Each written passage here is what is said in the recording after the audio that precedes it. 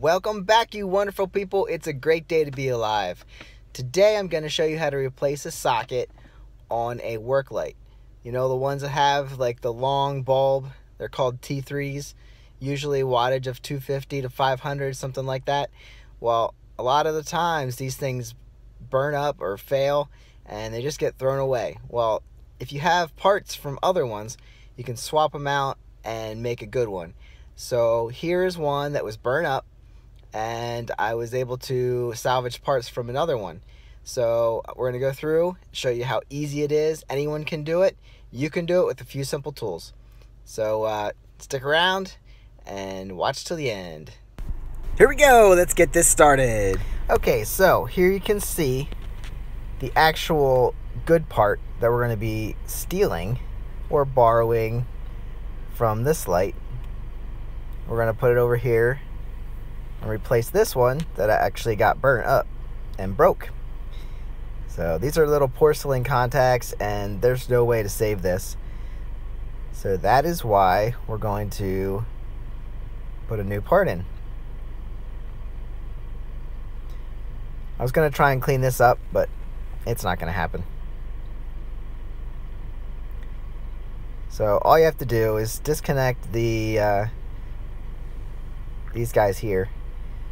This goes through the housing and then there's a junction box in the back. So all you got to do, pull off the white and the black leads. And they just meet up with the white and black leads coming out of the cord.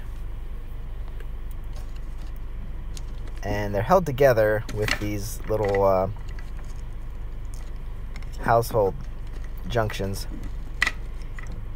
they screw on, so you're actually twisting the wires together as you turn this on.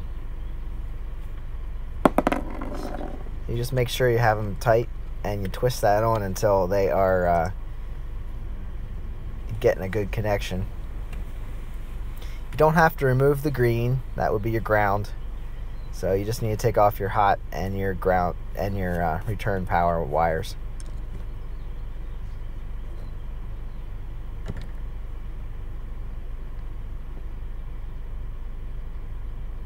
All right, so back to the uh, the bad one here. Already pulled these two screws out, and uh, since we disconnected the wires, they pull right out the hole. So we're gonna throw this aside. Don't really don't really have any use for that. Now keep uh, before you take this apart, get a good look at where your wires are run so you can reroute them the same way they were. It'll keep them away from the heat and make sure that uh, they're in the same spots that they were when you took it apart. See, all I have is a Phillips head screwdriver here. It's pretty much the only tool you're going to need for this project. Undo these two screws, lift the good element free, there you can see the junction box. This one's broken. It should be sitting uh, on the back of the casing there. So I took the top off with two screws, opened up the box, and as you can see, this is how it looks. Unscrew the yellow junction. There's your two white wires.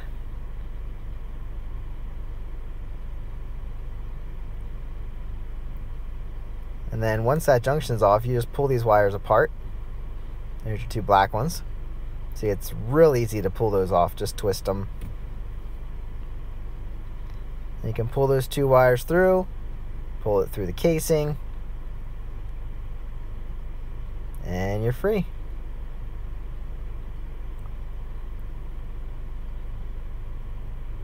Now you can just uh, transplant this over to the other one it's really that simple.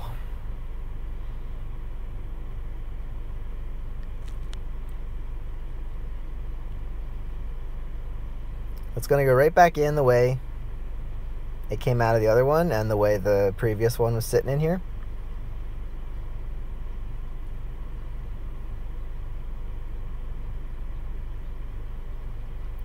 It's easier to do with two hands, so you'll have better luck with this than I did holding the camera.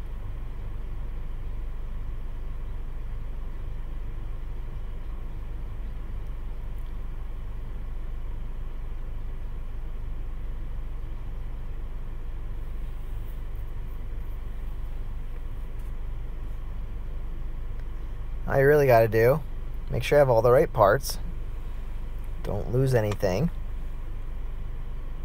but you have the screw and this lock washer.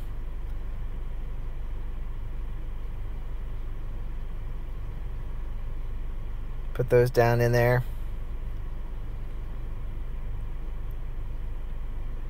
Tighten it back down on the uh, two spots there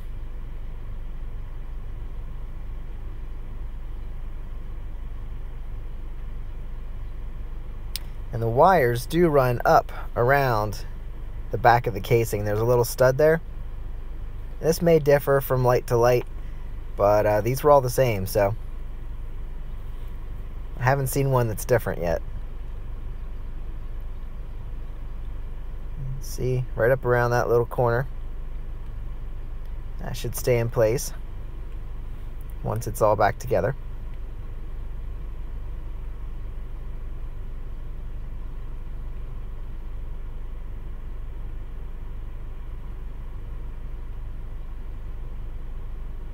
Believe white is your hot wire.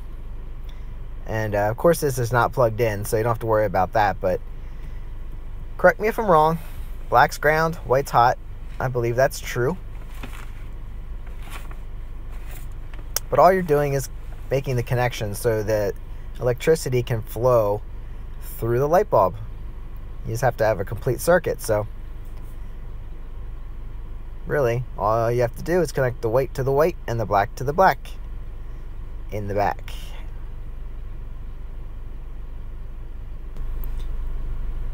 So I won't show you that again since it's the same thing as we looked at before back there in the casing or in that uh, junction box.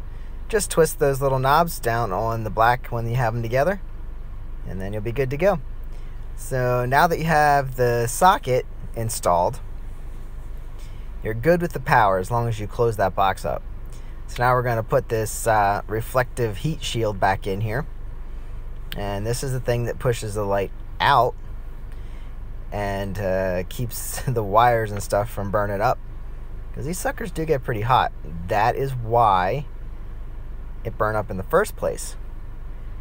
Probably wasn't making a good connection. So it wasn't uh, grounding properly and it fried the one end. And this is easy all you got to do put one screw down in the center and make sure it's sitting down in place and you're good to go. So once that's done you see this gray gasket around the outside?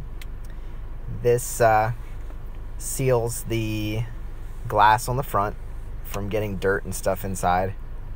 Um, while you have this apart you might as well go and wipe down the glass clean it up good. Because that gets kind of foggy. Foggy and dirty. And there's that screwdriver again. What you can't do with a screwdriver.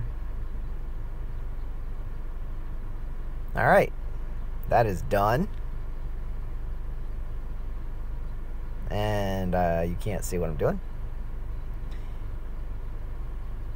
Push this down.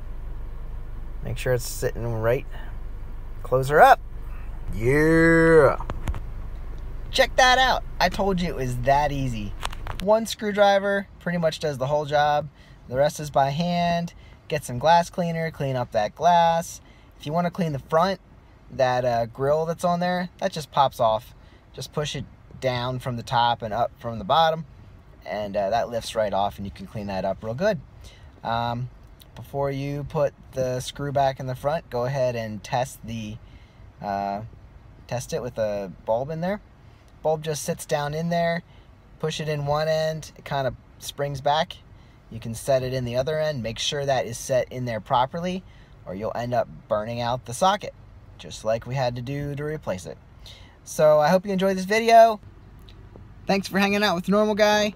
Like and subscribe and share. I don't know why you'd share it, but I hope you learned something today. Come on back for the next one. See you then.